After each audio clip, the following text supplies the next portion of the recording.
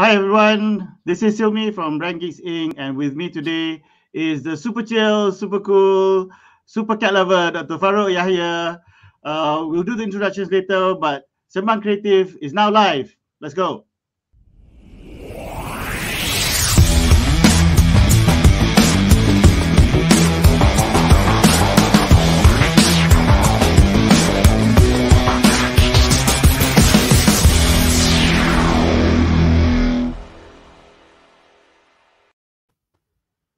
Okay, okay. Welcome everybody. Welcome to our third edition of Sembang Kreatif, and we've got a treat for you guys here because uh, first and foremost, we are broadcasting out of the lovely Malvern.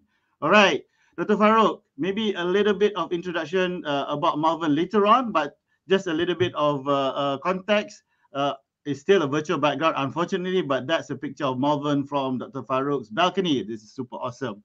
And uh, welcome, Dr. Farouk. Oh, thank you. Thank you. Um, thank you very much for having me and inviting me to uh, present some of my work today. Yeah, I, I um, we've had a few conversations over the last few days, and yep. uh, you just blew my mind. And I think there's no better person for us to have for Sembang Kreatif this time around than yourself. And uh, let's let's get straight to it, lah. Um, let me just put this up. I'm hoping people can see because I'm on a virtual background. Uh, but definitely, I think Dr. Farouk, if you can give us the link to your book later on. Um, the title is Magic and Divination in Malay Illustrated Manuscripts. All right, there you go. I hope you guys can see that. So we're going to dive in and please educate us all noobs out here. What in heavens does this book uh, tell us about? Uh, so uh, so i am going to share my screen now. Sure, sure. Okay, great. So you can see my screen, right? Yeah. Yep. Okay, so uh, so my work is on uh, the art of the Malay manuscripts, um, uh, especially my main focus are to do things like magic and divination, but I I'm, i look at other uh, forms of art as well.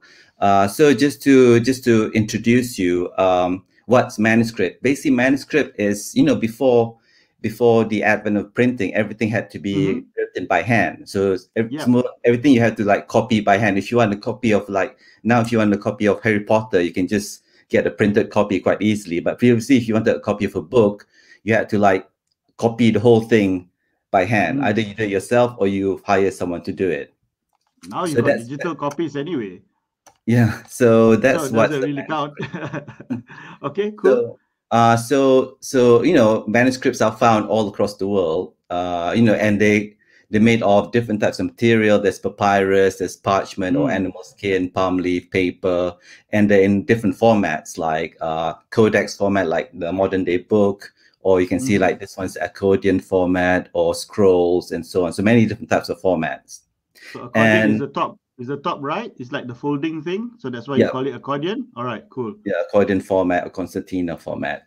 And you know, manuscripts can contain any types of text. You can get like histories or religious mm-hmm. texts or medical texts, letters, you know, whatever. La. So um, and they don't just contain text, they also contain, as you can see, they also contain images and paintings, um, and you know, decoration, uh, illumination. So so this is what uh, I'm studying, basically the paintings, the art that are found in manuscripts, uh, especially Malay manuscripts. Okay, cool. Sorry uh, to, to digress a little bit, but yeah. thank you for proving that you're still very much Malaysian. Uh, whatever la is is warming my heart, uh, despite the British accent. Okay, but you mentioned illumination. Could you explain uh, that a little bit? What's the difference? what what does that word specifically mean? Um, it in the in the small in the in the more focused um, form, it means uh, decoration in gold. Uh, that's ah. where it ah. comes from because you know usually these like manuscripts, uh, this ones are, are not really in gold. For example, sometimes you get decoration in gold. That's illumination uh, right, because it right. illuminates the page. Uh, yes, but then, yes, yes. but then, in the wider sense, it means also uh, basically decoration doesn't have to be necessarily in gold. But that's uh, the origin of the word. Yeah, that origin, was in, yeah. in some form of uh, metal, gold, silver, gold. Yeah, possible. yeah. Uh, But to, in the broader sense, it means basically any like this flowery kind of decoration that's also got right. nowadays. So okay, okay. So so this is like general overview of manuscripts. Um, and then so so talking about so my I punya itu um, study is mainly on Malay manuscripts. So Malay right. manuscript. Um, so Malay language, as you know, is mainly focused on you know Malay Peninsula and uh, yep, yep. of Sumatra and Borneo. But then Malay manuscript, because Malay is used as lingua franca around Southeast Asia, so mm-hmm. Malay manuscripts not just from this area. You have a Malay manuscript from Java, mm-hmm. uh, mm. South uh, Philippines, Sulawesi. So it goes broader. Like, so Mm-hmm. Uh, Malay manuscripts could come from any part of um, Southeast Asia, really. All right. So, as far as your your book is concerned, uh, which ones were the furthest, uh, and any particular manuscript that you could you you included in your in your book that was kind uh, of so, the furthest from from the rest? Uh, my so my book uh, that one is mainly focused on Malay Peninsula. So um, mm-hmm uh, Peninsula Malaysia, Southern Thailand, Patani, Singapore, Riau a bit. Uh, mm-hmm. I look at a few from uh, Borneo and Sumatra, but my main focus is on Malay Peninsula. Okay, cool. And um, mainly from uh, around 18 and 19, 18, 19, early 20th century. So basically around um, from the 1700s up to 19 i think that okay. the latest i had was 1933 i think uh the thing that's is Malay fairly recent isn't it that's fairly recent yeah. 1933 yeah. is is less than 100 years ago yes uh, but you don't really find malay manuscripts or southeast asian manuscripts before um from earlier centuries because because you know they're usually made of paper so they don't survive yes. the uh environment the climate it mm-hmm. you know they mm-hmm. they so it's very hard to you know understand the, the earlier uh, manuscripts look like. All right, cool. Um, so main so the main Malay manuscripts that survive now are mainly uh, based on the basic Islamic book format. So they mm. use um, so as you know they're written in Arabic script known as Jawi, which mm. is read from mm. right to left, yep. and they're written on paper, so mainly European paper and how did the they get hold of European paper? Uh, it was uh, imported. mainly imported, yeah. So mainly it would be British paper, uh, Dutch paper. British and Dutch because of the colonial connections, and then you also have Italian paper. Uh, Italian paper because um, possibly to do with trade with the Middle East, because in the Middle yeah, East yeah, also yeah. use Italian paper. So that's okay. that's another link. Uh, so basically, mainly European paper, either Dutch, British, or Italian. And the untrained eye, like me, this looks like a copy of the Quran, but you're saying that it looks like, but it's not. It's actually Hikayat Hang Tuah. Yeah, this is right. Hang Tuah. So this is in the SOAS collection, and and they usually in the form. Uh, this is called the Codex format, so like a book, like modern day book. Mm-hmm. Mm-hmm. Uh, but mm-hmm. sometimes you have scrolls as well. Um, mm-hmm uh, in different formats. Sometimes you have the accordion format as well, mm. uh, but mainly in, it's basically in this book format. All right. Uh, so speaking of the Quran, um, so Quran are also uh, illuminated, so they have lots ah, of. There you go. Yeah, That's so the, like the the golden part, isn't it, on the right? Yeah, yeah. So this is an Egyptian uh, 14th century Quran in the British Library. It's mm. very famous Quran, very beautiful gold decoration. Um, and then on the left is a one made in Baghdad in around in in the year 1000 AD.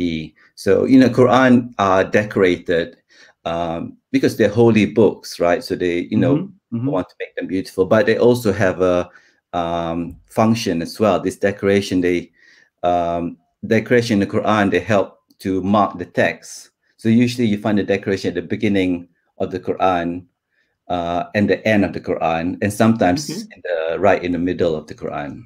Okay. And right. and the decoration has lots of different styles depending on the geographical area and also the time period. Uh, so I just show you uh, a few examples of Southeast Asian Qurans. So um, you have one top left Aceh, and then you have Sulawesi, uh, Patani, and Terengganu. Um, so these are the types I, of yeah i see i see similarities yes. but i'm sure there's differences so so could you tell us between these four uh, regions Yes. What what is what is it that that is similar or different, and what how do they influence each other? Uh, mainly, so um, so Quran decoration mainly uh, in Asia, mainly on the first few pages, first initial two pages, and the end pages in the middle uh, pages, and they usually uh, the most beautiful ones are usually at the beginning of the mm -hmm. of the Quran, and usually it's a double page, as you can see. Um, the Southeast Asian ones tend to be more vegetal. They like the vegetal motifs, you know, the ah, that's that's what I saw. It kind of had yeah. the fl uh, floral or, or yes, uh, yes, yeah, leafy kind of thing. Yes, going. yeah, yeah, less geometric apart from the mm, Sulawesi mm. one, and the color palette as well. Usually is red, black, white, uh, gold as well. Usually these these kind of colors. Right. Um, but it, but then even within uh, Southeast Asia, there's many different types. So Aceh, you would find they like this sort of wings. This usually this this arch on the top, bottom, and the side. Aceh, they they tend to like this sort of wings. You know, these wings mm. at the side, and Very like intricate, huh? yes, and they also have this like rope plated rope motif. You mm. might not see very hmm. clearly. Uh, Sulawesi, they like this sort of triangle and these sort of circles mm. on top of each other. Mm. Uh, Patani is mainly uh, character characteristic uh, is the this sort of interlocking wave. You can see is this wave motif mm. uh, on the left, whereas uh, Terengganu is mainly continuous line uh, along across the, the the border and also on the sides. You know the border of the page.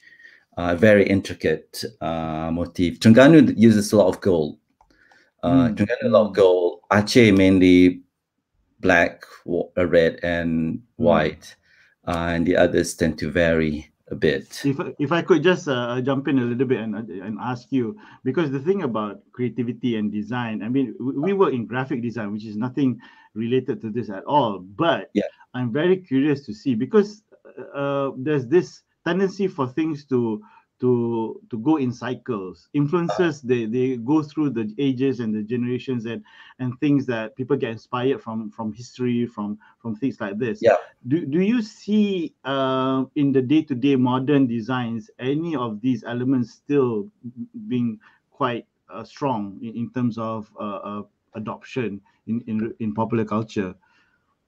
Um, in, in maybe architecture or things like that uh, in the modern times, I think I know there's some um, some organizations trying to reproduce when it um, like a modern day version of these sort of mm. illuminated Qurans, uh, where they they take inspiration from these uh, earlier material and produce new uh, Qurans, sort of new decoration based on these old ones. So I've seen those.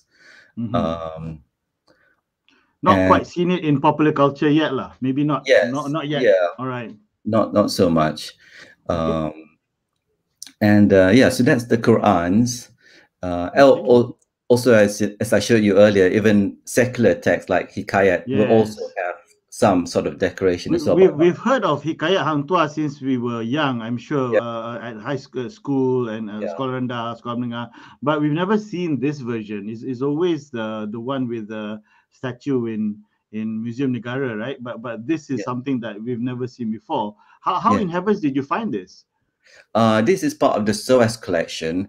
Uh, it was uh, commissioned by a British officer uh, who was stationed ah. in Malacca at that time. So he, you know, as I mentioned, if you know, if you want a copy of a book, you have to get someone to copy. Yes, yes, yes. Book. So he wanted a copy Anto as well as other books. Uh, so this is so he could read Jawi. Are you telling yes, me that the, yes. this break could read Jawi? Okay, yes. shame on everybody here that cannot read Jawi.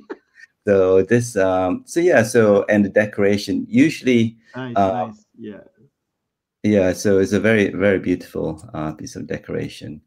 Um, so Qurans have this illumination, but they don't have illustrations. They don't have they don't usually have mm. like uh, images. Um, yes, correct. But you find images in other types of religious texts like devotional manuscript, like Dalail Khairat.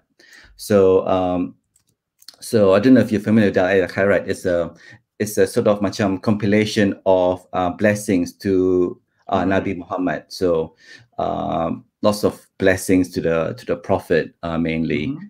um, it was um, it was composed by this gentleman Al Jazuli from Morocco in the 15th century, and um, so and manuscripts of the Dalail al Khairat tend to have images of the three tombs of um, uh, Prophet Muhammad, Abu Bakr, and Omar.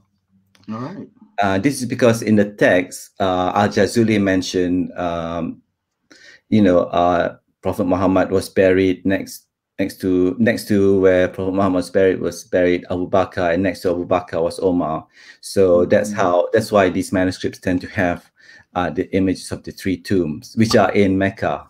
Um, mm -hmm. so they either have illustration of the, these three tombs, or they sometimes some manuscripts like this one here from Kashmir, they would have um, images of Mecca and Medina. So the 3 mm -hmm. tombs be part of the depiction of the mosque of the Prophet in Medina. You can see the three tombs here. Yep, yep. Um, and then on the right, usually it's the right hand side, you will have Mecca. You can see Kaaba, mm -hmm. the black cube, mm -hmm. and Medina on the left hand side. So these are, you know, you find this Dalail Khairat all across Islamic world, Morocco, India, Turkey, uh, Egypt, and so on. Um, but you also find them in Southeast Asia as well. So this one is from Terengganu, now in Singapore Asian Civilizations Museum. Um, so it's sort of in the format, it's quite similar to the previous ones I showed. So you, it's a double page yeah. depiction. Uh, right hand page is Mecca, and mm-hmm. left hand page is uh, Medina. So, and you can see the three tombs in Medina on the top left. Yeah.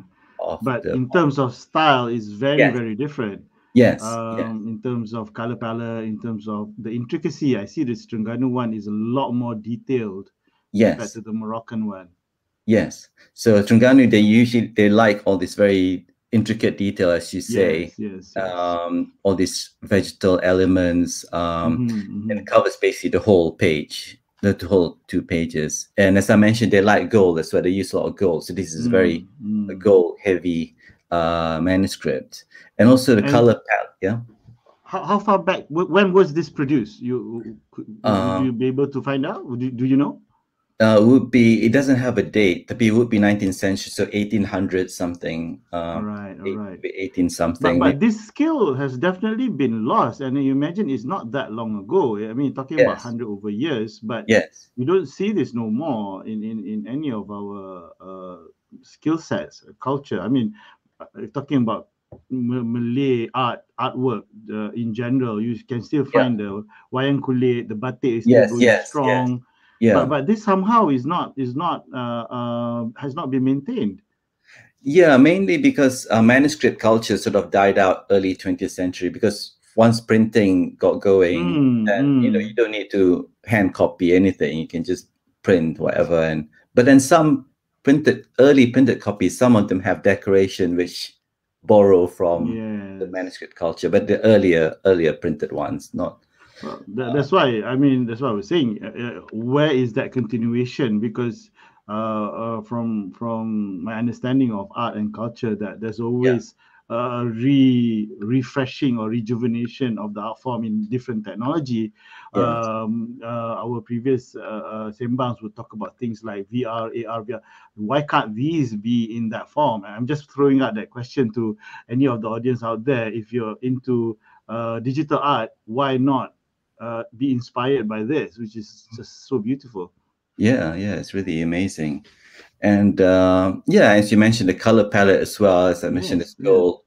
Uh, and also, um, like, if, for example, the Kashmiri, you know, yeah, they like pink, uh, but Malay, Southeast Asians don't use pink that much uh, or at all. And they also, this Kashmiri ones, you notice, got this onion dome, uh, whereas ah. Asians ones, based on more again the architectural form are based more on local architecture. Mm-hmm, mm-hmm. Uh, so macam all these sort of structures around the Kaaba. Um, I'll give you a detail. This is one of the structures in the painting around ah, the Kaaba. Okay, okay. Uh, it's based on sort of Southeast Asian architecture. Uh, this sort of flat roof, um, mm-hmm. which is got similar to mosque roof and also you mm. know mimbar uh, of masjid tend to have this sort of um, mm. kind of architecture. So there's connection between manuscript mm. and also mm. other forms of art. Uh, usually, I, I don't want to get I don't want to get too political, but but uh, uh, what this is triggering me is that a lot of the mosques, for example, the design uh, are very Arabic, whereas uh, these manuscripts are telling me that there was a strong Malay sense of style in Islamic culture as well. You don't have to borrow from uh, the, the uh, the the Middle East. You can you actually we actually have our own. It's not just yeah. being uh, um, done as much compared to before. Yeah, I mean, yeah, uh, Southeast Asian architecture, mosque architecture is very distinct style, its own exactly. styles going on for many centuries. So this is very typical. This sort of flat, you know, flat mm-hmm. kind of thing is very typical of Southeast Asian um, architecture. And yeah, and it's reflected in painting. So, you know, people paint what they see. So, yeah, yeah. Um, and just to quickly show you, this is another example of Southeast Asia. It's from South Sulawesi, but it's the opposite. It, for some reason, the the artist has decided to swap. So instead of mm. Mecca on the right, it's, it's put uh, Mecca on the left and Medina on the right hand side. Occasionally, you find this. I'm not quite sure why. Uh, it's sort of mirrored. Um, the the images are mirrored. Um, Again, I'm I'm I'm kind of touching on the design style a little bit. Uh, correct yeah. me if I'm wrong, but do I see a, a, a, hint of a Chinese Islamic influence here in terms uh, of style? Is uh, am I am I seeing things that are not there, or, or is that something that that uh, you you found as well? There's some Chinese elements in uh, Southeast Typically Asia. on the on the right hand side, if you it, uh, looks a little bit like a pagoda kind of Oh, the minaret. Yeah, yeah. Yes. You know, around Kaaba, eh, around yeah, around Kaaba and um, Prophet mm. Muhammad's mosque in Medina. There's all minarets. So yeah, mm. so the minarets also uh, would be sort of based on. Although I think these might be. Let's have a look. Yeah, so in the Kashmiri example, the minarets look more like uh, straight triangles. Mm. Yeah, in the yeah. in the Terengganu one, you might be able to see the triangle, the pyramid with sort of this mini triangles on the side. Uh, whereas in this one, it's sort of curved. This yeah, I'm, I'm, I'm totally digressing. It's just that somebody told me that the um, uh, Sulawesi, the Bugis, uh, the people uh-huh. in Sulawesi, the Bugis, were actually converted by Chinese Muslim missionaries. So, so I'm right. just throwing it out there whether yeah. or not this is a correct theory. But I saw some Chinese influence. Maybe I'm biased because mm. uh, I was told that theory, but but if this kind of proves it, that'd be really cool. Um, yeah. Okay. Anyway, I digress. I digress. All let's right. let's get back to the topic. Yeah, there's, there's, a lot of Chinese Chinese artistic elements in uh, Southeast Asian art, actually, and I, I can mm. give you a good example later. Um, right, cool. So so images. So we had images of buildings earlier, but you also find images of spirits, mainly in manuscripts of magic uh, and divination. So, so this is an example uh, because you know there's a belief that the world is filled not just there's not just the physical world, there's also the spiritual world. So uh, the world the world has all these.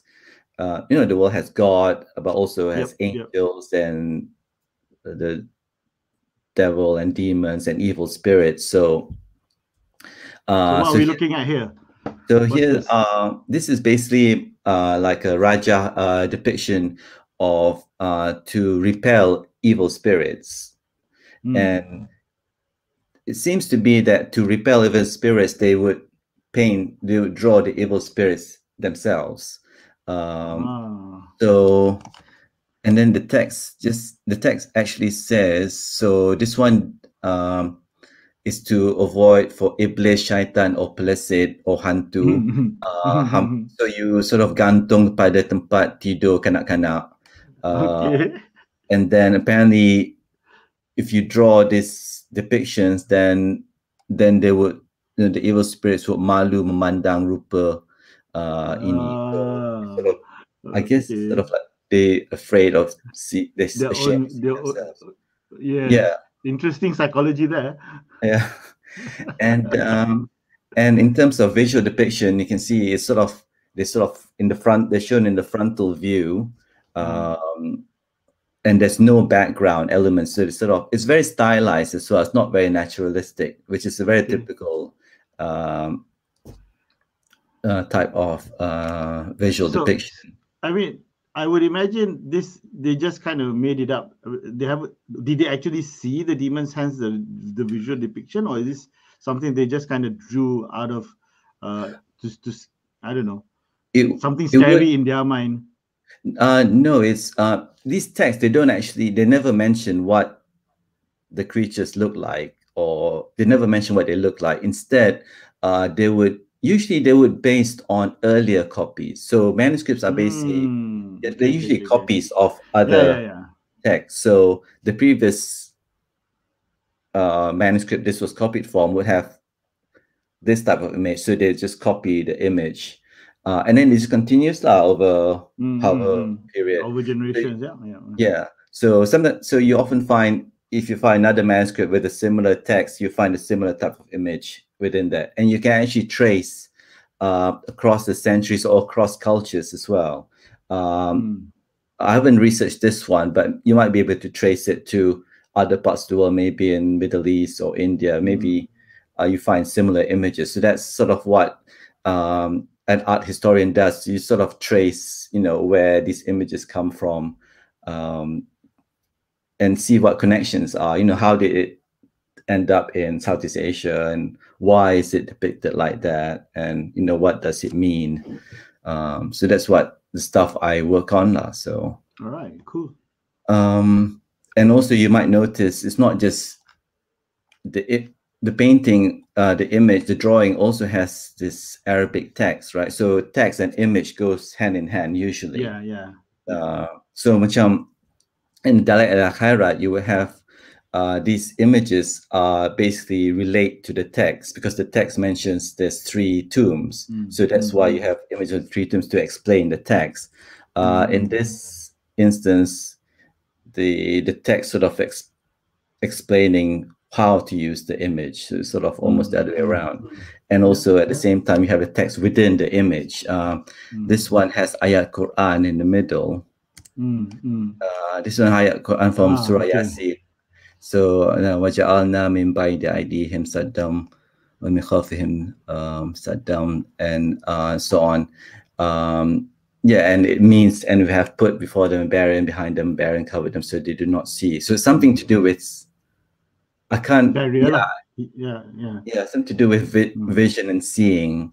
Yeah. Um, so maybe it's something to do with the uh, evil spirit seeing, or you yes, do not yes, see. The, I'm not quite sure about it. So mm-hmm. uh, you can see this one has wow, so little wows around the head, um, and little Arabic scripts which I haven't been able to decipher yet. Right, um, right. Sometimes they can be quite difficult to decipher, basically. Um, yeah, so so that's evil spirits, and you also have animals as well. So uh, a common animal you find in manuscript uh, magic and divination manuscripts is the naga, uh, naga serpent. So, um, uh, for example, this one. So the naga is uh, basically a serpent. This is uh, is this the on the copy of your book, or is that a different one? That's a different one, although it's in oh, the book as well. So, oh, but yeah, it looks very similar. It's a very typical uh, Malay depiction of the naga. So naga is uh, basically a, a serpent which uh, lives underground and it's very connected to water as you can see water mm -hmm. uh, and also mm -hmm. rain. Um, and you know it's found across india and, and, sri lanka and southeast asia as well. It's a very common uh, mythological animal. Um, well, some people argue that it's not myth. Yeah. Well yes um, but um, but yeah, so it's a very common animal in um, in in in society basically, and uh, that uh, the naga is very similar to the Chinese naga, the Chinese dragon. Not so much the Western European kind of depiction yeah. of dragons. Yeah, uh, it's quite similar. I'll show you in a bit the the difference and the similarities, the difference. Um, it's quite similar in a way, uh, but they're two separate creatures. Basically, you like two separate species, uh, basically. You're talking uh, as if they're real, man. Yeah. well, Well, they are. Well, I, guess, I guess people used to think they're real. I suppose. Um, uh, yeah. So in the manuscript, uh, the the naga is used in many types of uh, divination, so finding out the mm, future mm. and um, and stuff. So one method is called the rotating naga. Mm. So according to rotating naga system, um, the naga rotates every three months of the year uh, along, you know, along the north, west, east, south mm. cardinal direction. So um, you need to know the location of the naga during that specific time to do something, usually to build a mm. house or mm. go traveling. Because when you build a house, you don't want to end up accidentally, you know, letak the tiang rumah onto the naga's head. why, why uh, not? Why what's wrong with on the head compared to putting it on the other parts of the body? What's the it will bad luck, so yeah, right. it, you know, bad luck for the owner of the house, people who so, live in. So you're you're telling me that the Malay culture had its own version of feng shui a uh, long time ago. Yeah, and there's many types of. This is just one of them. There's many types okay. of building houses and stuff. And also, if you're going traveling, you have to make sure you don't sort of walk into the naga's mouth. You know, sort yeah, of. Yeah. You have to be careful where so that's why you have to know where the location of the naga is at a specific time and this is actually found across this concept is found across again uh india wow, that's uh, everywhere that's Asia, yeah. everywhere yeah uh, yeah so but then each region has different variations so they're not all quite the same for example so malay um well this one's an uh malay one so uh sorry so Malay ones, some of them in some places the Naga rotates clockwise. Sometimes they mm, rotate mm, anti-clockwise. Mm, uh, mm. Malay ones tend to be because Malays are follow the Islamic calendar, so the three months counterclockwise. Okay, it's counterclockwise, but they also use the Malay uh, calendar for the three months mm, rotation. Whereas in, for example, Thailand, uh, they use the Buddhist calendar. So you know, there's many variations to it. Um, yeah and also the and it cuts it cuts religion i mean basically yeah. the culture is is has been there even before the religion was there i guess yes yeah yeah it's a very very old uh, system mm. um and uh yeah and again so so basically the manuscripts would depict the naga creature uh for example this manuscripts from the raffles collection are probably copied in penang in 1806 mm-hmm. uh again, you can see this is a very typical depiction of the Naga. There's no background. Uh, there's no mm-hmm. frame. Mm. It's very. It's not naturalistic. Mm. Uh, the Naga is sort of depicted in profile, so towards the side. It's never. Mm. It's never mm. shown frontally. It's always mm. on the mm. side. Um, and you know, there's no legs. It's sort of a curvy body.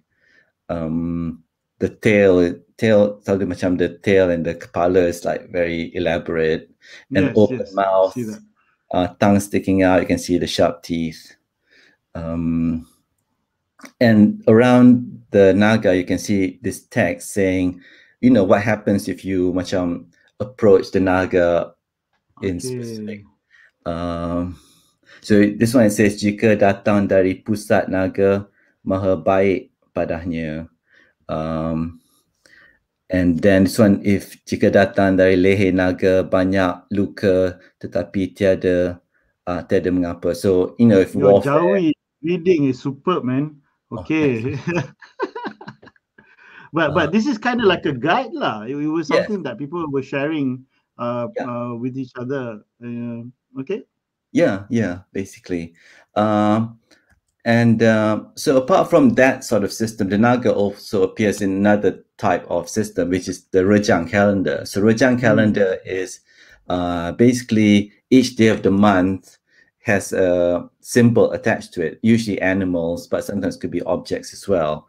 So here, uh, for example, the ninth day of the month, Sembilan Hari Bulan would be the dog, and then 10th day of the month would be the Naga. And then, you know, it depends. Lah. So, for example, uh, it says uh, pada sembilan hari bulan is asu or the dog. So that hmm. day dijadikan Allah Taala um, so on. Um, so jika berperang tiada baik, uh, banyak mati. Um, Whereas on the yeah. Asu is a is a is a Bugis word for dog. Yes. So was that more common across the the Malay uh, uh, the different Malays? Yeah, it's the old. It's quite an old word for dog. Um, mm. Some manuscripts, yeah, like this one, is it still uses the word asu uh, rather mm. than hmm. anjing. Some, I think, there's other ones use anjing, but yeah, this one uses mm. asu. So yeah, it's a hmm. very very old uh, old word. Uh, whereas this one, uh, pada 10 hari bulan uh, pada hari itu uh, diturunkan Allah Nabi uh, Taala Nabi Nuh ke bumi uh, hmm. And then it says jika bertanam tanaman baik jika berjalan atau berlayar tiada baik. So you know each day Ooh. of the month has specific uh, rules. You know what you can yeah, you can yeah yeah yeah yeah. So the naga is one of the symbol is the symbol for the 10th day of the month and the dog is the ninth day. So i think the first day is Kuda, I think, and then you have Kijang, Harimau the third day, and so on. Yeah, but just uh, going going back into the art of it, if you, you can yeah. see that it, the style is is again um, very intricate, and, and you have those different strokes. Uh, yeah. From from the outside to the inside. Mm. Um, yeah, this is this is. I mean, what what what uh, material would they be using to do these illustrations? Is it like charcoal or something? Did... Uh, usually it's ink. So, so they had ink. Okay, I'm really yeah. I'm really noob about this, right? So they did have ink at that point. Yeah. Yes, uh, and usually they will use the same ink to draw the animals like this mm, one, as well as the writing. Yeah. Yeah, yeah. Um, this one's black and white, but sometimes they add red. Usually the text sometimes uh well this one's same ink as well but if you notice yeah this one uses red yeah, red again sometimes mm. certain words like the beginning of the sentence they would use red to start off the show's beginning mm. of the mm. sentence um okay. okay all right all right um yeah so yeah as i was yeah as you're asking about difference between dragons so um you know that's the indian naga so Indian Naga looks basically more like a cobra. They're based on a cobra. Yes, yes. Many heads. So banyak kepala. Usually three, usually three, five, or seven heads. Um, and then you have the Chinese dragon. So Chinese dragon is very long body, has yes. four legs, um, has these sort of feelers and its antlers. Mm. Um, mm. And then you have the European dragon, uh, which usually has wings as well. Um, and looks like this one's got fire coming out of the mm. mouth. So only the European dragons have the fire thing, whereas other dragons, the the, the Asian dragons, wouldn't wouldn't have that. I so think so. I can't remember now. I think yeah, so. Yeah. yeah. Um, I, I might check, but anyway. But Chinese dragons also associated with water, if I'm not mistaken. And the Naga definitely with water uh, mm, and mm. Mm, mm. Uh, and, and and your depiction, the, the depiction of of the Malay Naga just now no it's, legs. So it's yeah, more no like legs, a serpent, exactly. you were saying, right? Yeah, mm. yeah, there's no legs. Uh, but looks less like the it doesn't look so much like the Indian naga, but looks more like the Chinese dragon, you know. Yeah, but without legs. Yeah. Yeah, without legs. Uh, this one has you can see two legs at the front though. It's quite mm, unusual. Mm, mm, uh, but two small legs. You can see the mouth open with tongue sticking out and the mm. I don't know this upper fins or whatever um, along the body the neck. I mean, talking about about current cultural uh, usage uh, or, depiction of of these uh, creatures, uh, uh, um, I mean, we know that for for Chinese culture, it's still very strong. The, the use yeah. of dragon is, is still very very mainstream. Uh, yeah. You see it in fashion, you see it in, in in whatever in buildings, but for Malay culture, not so much now. Why would you attribute that? is it because of of Islam in a way? I wouldn't say necessarily Islam, maybe more like modernization, I guess. All uh, right, uh, all right, all right. Um, even because th- this was already it was still in play even when Islam yeah. arrived. The people were yes, still yes, using yes. these visualizations, yeah. right? It's just okay, so it's really just modernization. But China has modernized, but they still uh, uh, celebrate their culture. We're, we're not doing it as much. Yeah, it doesn't seem to be as much. Yeah, the Naga seems to be forgotten. But I mean, I have found like um, reports of even 1950s, 1960s of you know of the Naga being used for like weddings uh, and so mm. on. You hmm. know, because it's sort of a, um, a water um, type of animal. So yeah, maybe not in the last 30 years or so. Yeah, 50 mm. years, yeah. All right, cool. cool, uh, cool but cool. but you actually no, you do find the Naga still in Wayang Um, yeah, yeah, yeah, so, yeah. Uh, and yeah, this is an example. Uh, again, the iconog iconography or the visual depiction of the Naga is very similar to the manuscripts. Uh, no legs. You can see the mouth open, mm, the tongue coming out, and the sort of mm, crest behind the head. It's very similar. Mm. Uh, so basically, the art, you know, across media, uh, you find similar uh, depictions across the media. Um, yeah. So, and again, um, also this depiction of the Naga you find across all across Southeast Asia as well. Very similar. Mm. You have the Shan, which is uh, in Burma mm. or Thailand, Thai, Javanese, Bugis, Cham in Cambodia. You know, it's a very common Southeast Asian uh, connection, uh, regardless. Sorry, I, am Bugis, so I'm I'm yes. going to ask you to drill a little bit more. What does the Bugis Naga? Uh, how significant is that? What what what what is the uniqueness about the Bugis Naga? Um, this one I think would be the similar text as rotating Naga. You know, that every three months mm. rotates. Mm. Ah. I haven't read. I haven't. I mean, I can't read Bugis, so I'm not sure what this thing says, but probably be the same as uh, yes, yes, yes, yes. As the well, as the I can one. I can get somebody who can read Bugis to oh, yeah, yeah, So so we'll yes. follow up on that later on. Yeah. Yes. Yes. And the charm, I think, would be similar concept in the Javanese mm. as well. Mm. I think the this three, this four would be the same type of concept. Okay, cool, uh, cool. Okay. Uh, yeah, and this is the cover to book. Yes, so, yes, yes, yes, yes. Sorry, um, I'm going to try and put it up again and see. Okay. Hopefully, you guys can see it. Nice. All right. So this one. Why did you pick this for the for your cover? What's the importance because of this one? It's um, it's it's quite. As you say, the Chinese elements is quite strong in this one. You can see mm-hmm. uh the feelers, and you know the artist has drawn the four legs. Mm-hmm. Um, so I like this picture because it sort of uh encapsulates a lot about Southeast, well, uh, Malaysian art. Um, it's it's very mul- it's you know lots of influences from uh, from everywhere. So you have an Indian a Naga creature, which is you know based on Indian and Southeast Asian mythology, uh, but this depiction depicted like a Chinese dragon, and around it is Malay text written in Arabic script, mm, and so it amalgamates all the different paper. influences. Yeah, yeah, exactly, and it's on European paper as well. So you know, it's yeah. very many influences uh, within this just one uh, image in this manuscript. So that's why I thought it very very appropriate to uh, to highlight that. All right, cool. And, um yeah so wow this this is a, lot of stuff to absorb so so yes. Uh, what else do you have for us um, so yeah, just basically to show the connection, how it looks like Chinese dragon, and just yeah. just to finish off, uh, just one type of text or image I want to show you something called calligram. So calligram mm. is basically text which is shaped like an image. Uh, you know this thing like a cat because it's advertising cat food. Um, but in in Islamic. So that world, was a modern thing. That was yes, a modern example. Modern, yes, yes. Okay, okay, okay. This uh, is the the historical example. Yes. So one common one you find in Islamic world something called the Lion of Ali.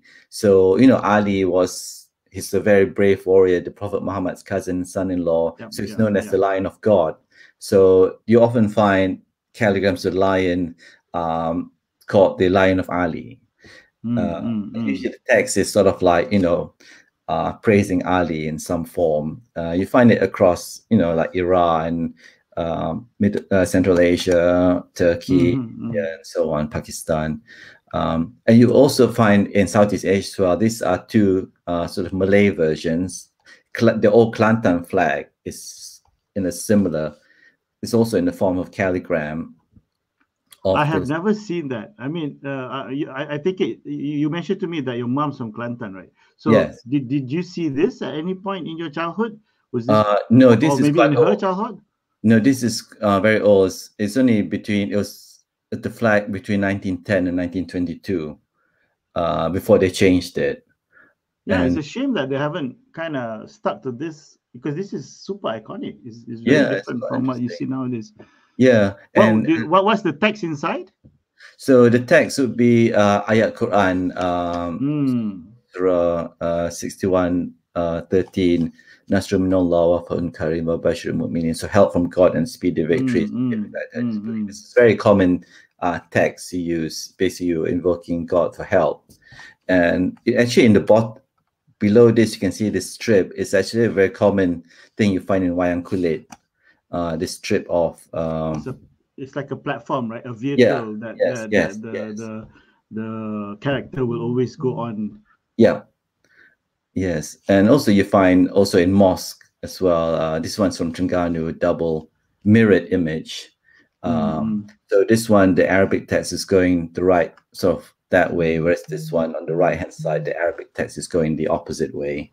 Again, Um, this is this is lost. This I have hardly seen anything like this at all. Is there is there any particular uh, uh, cultural or, or maybe strict relig- strict relig- religious reason why uh, this this use of of uh, calligrams is no longer in play? Um, I think it's you find some calligrams recently. I don't know. You might come across different types of calligrams. I think one common one is one person, a, a man praying uh, in the Mm. form of calligrams. You find that this sort of um, uh, the animal shaped ones not so much nowadays. Uh, you itulah. find it, you do find little a few here and there. Uh, these sort of calligrams. I mean, if, if there's an issue with with uh, animals or humans, Yeah. um, you can still use plants, right? To to, to yes, yes, to, yes, to, yes. to use the i mean again is is about uh, um, manipulating the text to make it Yeah. into something more visual yes. so again it's uh, such a shame that, that this is not being picked up uh, not continued over the years Mm, yeah, I, I've I've come across some people doing it, but it's not it's not very mainstream uh, anymore. Uh, yeah, so this is another example. This is actually this calligram is used as a talisman um, to protect against misfortune, uh, you know, Mm, mala and that kind of stuff. So again, it's made of the mm, mm. same text. Mm. Um, yeah, and just to end, uh, it's actually also common in uh, Cirebon in Java, uh, where they call it Macan Ali, so tiger of Ali, because mm, you know mm. Southeast Asia is mainly tigers. You don't really get lions, Mm, but over mm, mm. there, this sort of image is still very popular. Uh, it's a very sort of uh, iconic image for Cirebon. Uh, In fact, you find it on T-shirts. Um, you know, it's something which they is really uh, celebrated over there. Um, Yeah, exactly. This is what I was, I was talking about. I mean, I, exactly what I had in my mind. I mean, Yeah. uh, we, we have all these uh, cultural appropriations uh, in terms of uh, um, what do you call it, uh, popular art and, and, and Yeah. all these brands. But but unfortunately, for for Malay uh, art like this that, that goes back and has a religious uh, un- undertone, I mean, Yeah. maybe there's a worry that people don't want to uh, get caught by Jakim or something like that. I don't know but but it's, it, you don't see this uh, at all, uh, which is Yeah. which is a real shame. yes. Uh, okay, I think. Okay, let let's see whether we have any questions. Uh, um, I'm I'm uh, I'm fairly convinced that our audience uh, has learned a lot from your sharing. Okay, so uh, Safety has written in. Thank you for your sharing, Dr. Farouk. I have a question. What is Uh-huh. the motivation that drives you to dive deeply in this research field, and what is the consideration to choose Southeast Asia as the objective of your art research? Okay, I'm, going to precursor your answer by telling everybody that Dr. Farouk is actually uh, a, an accountant graduate from LSE. So yes, tell us your journey from being an, an accountant to to uh, to this field, an expert in the Malay art and, and divinity. Uh, yeah. So yeah. So uh, well, initially, what sparked my interest was I did a master's uh, history of art program at. Uh, well, after I worked as an accountant, I decided to take a year out, and I decided to enroll at SOAS, uh, University of London, in the history of art program, uh, where I did. Uh, uh, I specialized in Islamic art, which was very interesting, which got me interested and I one of the courses I did was on manuscript painting of Islamic world, um, looking at mainly Arab and Persian painting, and that got me curious about you know what about Southeast Asian manuscript painting, and I realized when I was deciding to do my PhD, you know, it hasn't been researched very much. Um, Mhm, mhm. so so that's why I decided to you know when I was looking around um, for a suitable topic, I realized Man Malay manuscript painting has been researched very much, especially those to do with sort of magical and divination, the Naga. I yeah, I remember going through all these manuscripts and keep finding these Naga depictions everywhere and also this image of spirits. And I realized, you know, no one's really talked about them. So I thought, you know, maybe this is something which uh, I like to research more and sort of put across, you know, sort of promote a bit, mm-hmm. um, make more people aware of it. So that's yeah. that's my main uh, motivation really, and that's why I chose Southeast Asia because Southeast Asia I find you know there's still a lot more to research and a lot more um, to highlight to basically the not just within Southeast Asia but also the rest of the world as well. Um, it's, it's, such a rich culture that I think yes, is, yes. Is, is, has, hasn't been highlighted enough uh, no. uh, to have like a global influence uh, yeah. compared to, to Chinese or European or yeah, Indian. Yeah, exactly. Yeah. Uh, yeah, yeah, yeah, yeah.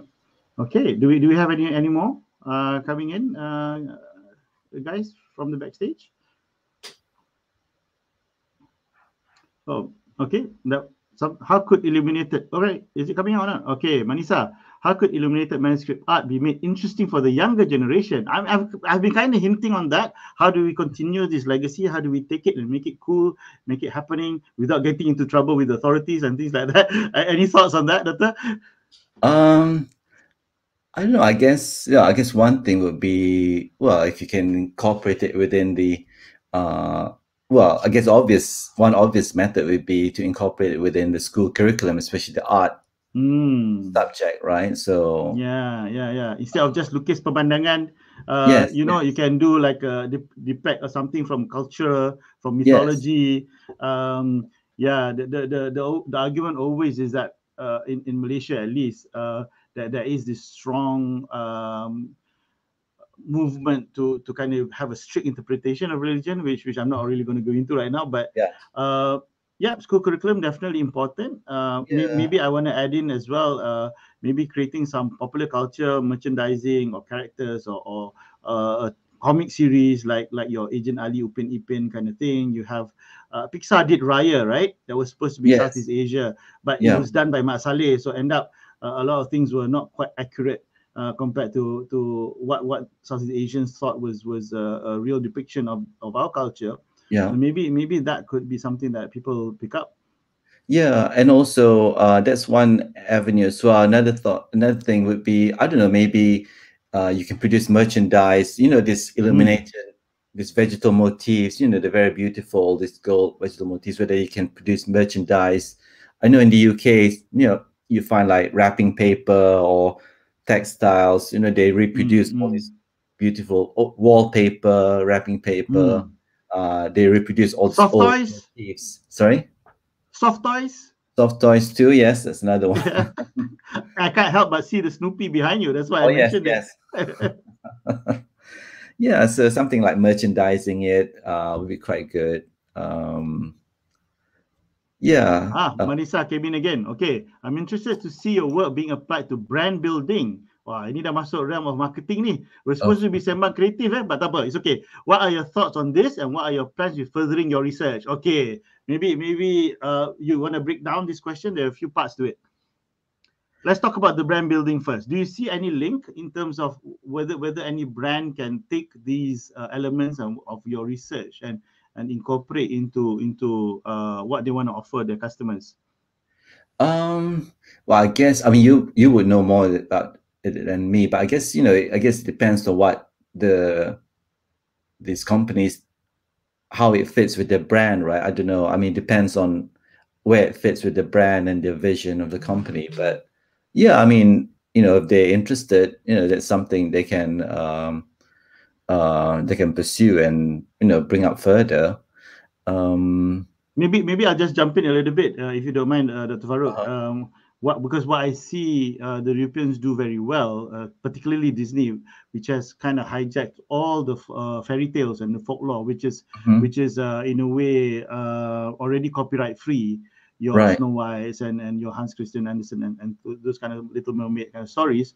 So so if indeed your your work can manifest and can share all the mythological stories mm-hmm. right? From the dragon and the tiger and and, and uh-huh. all these stories. then right. this is where a brand can build it, build up uh, a value proposition, whether in the form of storytelling or or characterization. I mean, this is just my two cents, lah.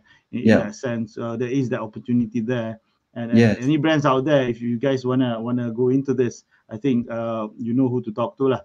All right, Dr. Farouk, who's uh, who's in London most of the time, but in Malvern as well some of the time. Okay, yeah. why don't you answer the second part? Uh, what are your plans for furthering research? So basically, I'm looking at other. Um, well, I'm deepening my uh, research on other types of um, manuscript art. Um, I'm work, you know, like specific um, other areas to do with uh, Malay manuscript art. So, for example, I'm working on something to do with the uh, seven sleepers of Ephesus, so Ashab al Kahfi, you know, these seven ah, yes, uh, yes. man and the dog who fell asleep in the cave and woke up many centuries later. So that's one aspect which I'm working on at the moment. Um, yeah, and Where do you start with that? Where do you start with that? Uh, quite a lot of the manuscripts and uh, quite a few of the manuscripts mention it uh, okay. because they usually use as talismans as well. Mm. Uh, and also things like diagrams. One another thing which I want to look at more are diagrams. Um, I've I've looked at a few, but there's other types of diagrams. Sometimes you have things like circular diagrams, mm uh, tree, you know, gene genealogical trees. Um, mm and there's many types of diagrams you should find in these manuscripts which haven't been researched uh, very much. Um, and also objects as well, like shirts, uh, talismanic shirts. Because mm, uh, you find, I've, I've heard uh, my grandfather used to talk about baju besi baginda Ali. Is, is that oh, something okay. you've come across? Uh, not that one, but there's lots of these shirts which have magical drawings on them. Yes, yes, uh, yes. So, oh yeah, maybe you can tell me more about this. no, it was just some sort of a of a jumpy or something like oh, right. to, to protect okay. yourself. Uh, berkat uh-huh. berkat kekuatan some baju besi baginda Ali or yeah. something like that. Oh, okay. Yeah. Oh, that's interesting. Yeah, that's that's one thing I want to find. All right. Uh, um, yeah, Safety's come back with another question. Do you think that this field of research is actually something that the young generation should discover more? I yeah, think I think so. Pretty straightforward question, isn't it? Yes, yes, I think so. I think it's very important to know, um, you know, the history, history of art. You know, because it's part of Malaysian culture, basically. Uh, but not just Malaysia, Nusantara, because we got Nusantara a few audience well. from Indonesia as well today. Yeah, Safety is actually from from uh, Bali, I believe. Oh, um, oh, okay. So so so you because the map you showed just now is, is pretty yeah. much uh, yes. uh, the Malay archipelago. Yeah, uh, yeah. Patani, uh, Philippines, Borneo. Yes, yes, yes. Yeah, so yeah, it's very important to know about you know our heritage and you know because it's part of our cultural identity. You know, you have to know yourself um, in order to move forward, and um, you know, and and also um, once you see, once you read learn about this, you realize how interconnected we are. So, um, so like the Naga, as I showed, you know, it's found everywhere. So, you know, it's yes, derived. Yes, yes. Concepts yes. derived. The rotating lens derived from India. So how did it travel to Southeast Asia, and how did within Southeast Asia, how did it travel from Thailand to Java and Bugis and so on? You know, mm, how do you travel mm, within mm. Southeast Asia? So well, that's something which mm, uh, mm. is important to research. You know, so it's all very it's all interconnected. One of the things I'm researching is how these ideas, these images, been transmitted from one place to another, and why it got transmitted as well. Yes, I had that in the back of my mind. I, I just assumed it was trade, uh, and because because uh, Malacca was like the port of, of yeah. the uh, the 1400s and 1500s. Yes. Yeah, there's um, trade, but it's also intellectual exchange, knowledge exchange. Mm, you know, what kind, mm. how did that happen, where, uh, who was involved as well in this knowledge transmission of knowledge, basically. Um, okay. Cool, cool, cool. Okay, let's see. Do we have any more before we, we're coming uh, to the end of our time with you, Dr. Farouk? Uh, I, I, I have so many questions actually. The, the, the you just sparked a, a whole ton of curiosity on my side, and, and what you shared, I, I believe, is just the tip of the iceberg. Uh, yeah, we, we definitely have one more question coming apparently from from our producers. Um, let's see what, what it is. Uh, they're not letting you go yet, Dr. Farouk.